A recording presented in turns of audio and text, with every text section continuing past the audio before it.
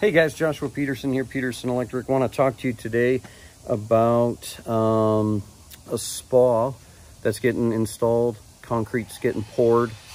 Um, it's going to be underneath equal potential grounding in Article 680.25, as well as other code articles that apply. Um, you'll probably try to see me wear a lot more safety glasses and gloves when I'm doing videos, so that way you guys can see that I'm practicing safe. I'll do another video on that for somebody um, who was totally offended about us doing a video and uh, doing some work. So anyways, I got to practice that more. Um, and then anyways, I'm going to show you real quickly about this. It is September 2020. We had to add a sub panel here out of this panel, 70 amps. Had to scoot a couple breakers. Labeled it.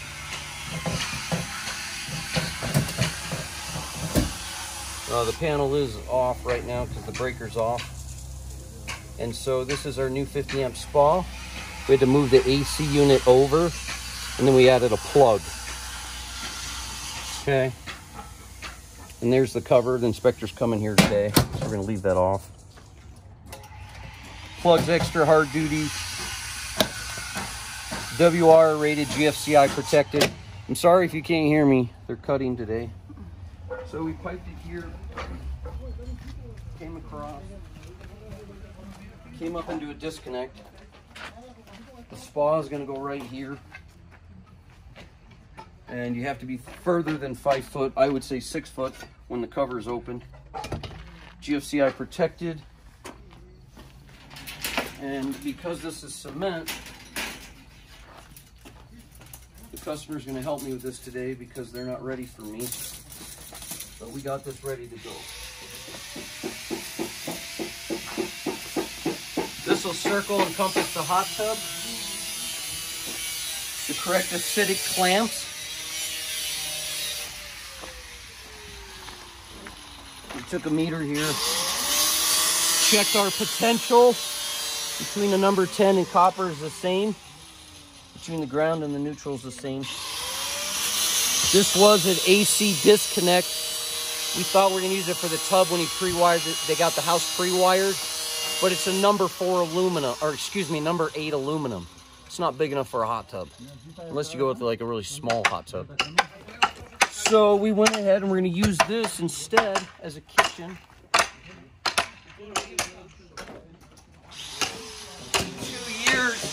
He's gonna build an island here, all by itself, standalone. So we're getting this conduit inspected. And then once they level, he'll put this up and tape it.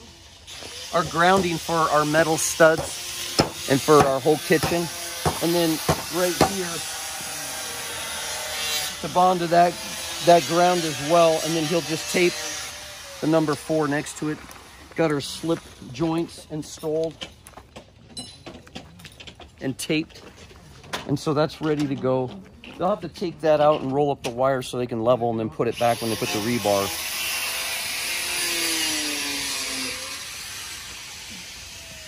So there's a lot of customers that call me after the fact the cement was poured. There's nothing I can do. You may not even be able to get a permit to pass if they see new cement. So this video is to try to help you realize that before you pour and you're putting a hot tub with reinforcement rebar,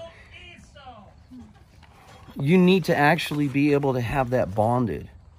So that is an equal potential ground. And um, if you don't have that in, that's going to be a concern for later. But again, that's the stub up for a kitchen. Here's the hot tub. There'll be a shed right here. Make sure the disconnect's not behind the shed. Can't be over the window well. So we're to the edge where the tub is. I wanted the tub further out, but they didn't, they didn't want to do that. And so everything went here to put in a new sub panel as well. So as far as our visits, it was three visits for this because once he gets the hot tub, which is eight months out because of COVID, we'll actually come back and do the hot tub. Now, I didn't pull a separate permit. I normally would have, but because I don't want to babysit that permit because he's waiting on the hot tub and then the funds to do the kitchen area, it's his responsibility to keep that open. And I will let them attach to me as long as I know the city knows that I'm current on my license with them. And then I've also Um, you usually want to check that we have insurance as well. But then basically, uh, yeah, he'll just let me know how things are going in his timing, not my own. All right, thanks for joining us, guys.